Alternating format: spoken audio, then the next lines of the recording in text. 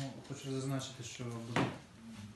працювати чотири робочі групи на всій території міста Мелітополя, і е, у кожній робочій групі буде посадова особа місцевого самоврядування, а також представник національної поліції, які мають, мають змогу складати адміністративні протоколи про е, адміністративне порушення, передбачене статтею 44 дріб 3 Кодексу України про адміністративне правопорушення. Е, Хочу зазначити, що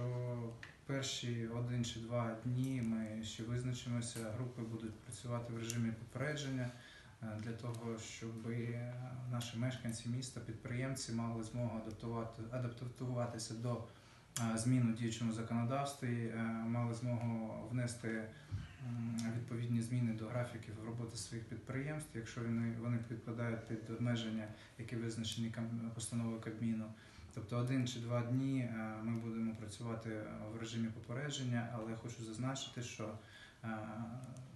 коли цей час вплине, то будуть виписуватися адміністративні матеріали, передаватися до суду, і штрафні санкції дуже значні, тобто від 17 до 170 тисяч гривень на штрафні санкції, які можуть бути е, стягнуті е, за рішенням суду. Тому хочеться звернутися до всіх мешканців нашого міста, фізичних юридичних осіб, для того, щоб вони е,